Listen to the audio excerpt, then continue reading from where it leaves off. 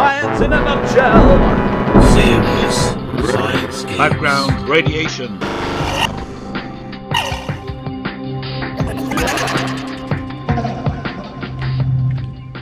We live in a radioactive world.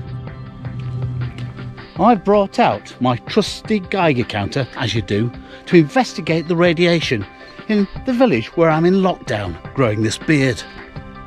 Since our world was formed 4.5 billion years ago, it has always been radioactive. Radioactivity is absolutely everywhere. Remember, when we talk about radioactivity, we're talking about ionizing radiation like alpha, beta, and gamma. If you're wondering why I look like this, this is what the coronavirus has done to people. It's made them, it's affected people, it's just made them do silly things like irrationally grow beards for no apparent reason, even women.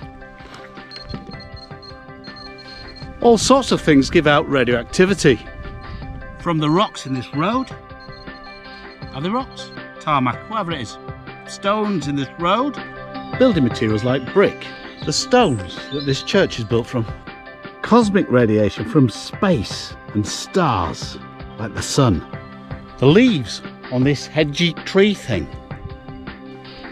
Even the air all around us is radioactive due to radon gas seeping up from the ground. All these sources of natural radiation all around us are known as background radiation. Yes, amongst the But background radiation does not just come from natural sources, it also comes from artificial sources of radiation produced by humans, which contribute to the overall total. There's even traces of radioactivity left over from nuclear weapons tests in the 1950s and 60s. Nuclear power stations produce radioactive waste, and this also contributes to the overall background radiation. Medical uses of ionizing radiation include X-rays and radioactive sources used in hospitals. All living things are radioactive. But why? That's because they take in carbon dioxide for the purpose of photosynthesis. Biology there. All forms of plants take in carbon 14. I'm here with my Geiger counter testing how radioactive this grass is.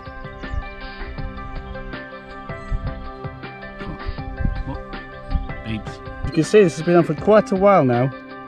And if you listen carefully, be a beep now and then. It's a radioactive particle entering the Geiger counter. It's easy to understand why plants and trees are radioactive because they take in carbon 14 from the atmosphere through radioactive carbon dioxide. But why does that make other animals and living things radioactive too? Well, we eat lots of plant based materials like fruit and veg, which has already absorbed carbon 14 from the atmosphere. But other things add to it too. It's all the fault of these cows here. Not right, ladies.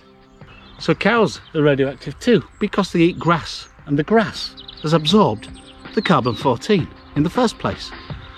So when cows eat grass, they become radioactive too. They absorb the carbon 14 into their bodies, in particular into their bones. And they keep absorbing carbon 14 until the day they die, normally when I eat them. Sorry, they're, they're milky cows.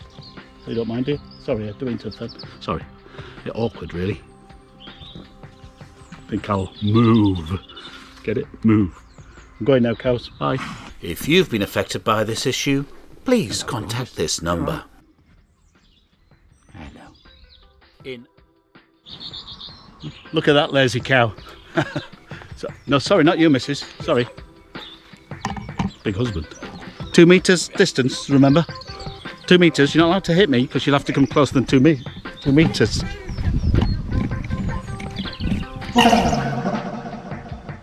Here's a lovely pie chart showing how the different sources of background radiation contribute to the overall total. And it's quite surprising. Look at that big chunk there. 50% comes from radon gas seeping up from underground. Radon gas can seep up through the floor and get trapped inside your house, therefore you breathe in bigger concentrations of it, so it can be dangerous. Just 0.3% actually comes from nuclear weapons testing in the past and nuclear waste in the present. Hardly anything. Food and drink, quite a big chunk, as I was explaining earlier about those dangerous cows. And look, medical uses, another big contributor to the overall background radiation, another artificial source. final some summary, there are five main groups of background radiation that you need to be aware of. And there they are. The background radiation reading must be taken in a lab before doing any experiments. You need to subtract it from the readings you actually take in order to get accurate data. Don't forget about that, they ask about that. Having finish!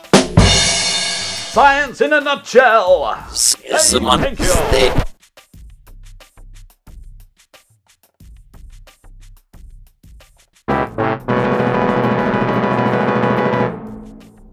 Even this wooden shed behind me is radioactive because at one time, of course, the wood was alive. What? Sorry, what? Have I got something on my face? No, seriously, what?